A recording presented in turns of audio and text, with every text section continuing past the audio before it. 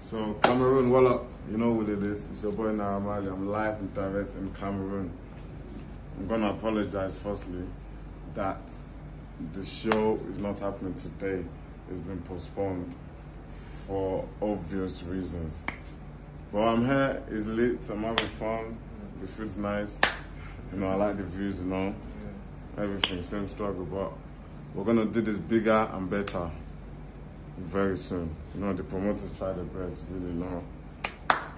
Yes, they try their best. But for obvious reasons, it can't happen, but we're gonna do it bigger and better. I promise. Marlians. Come forward.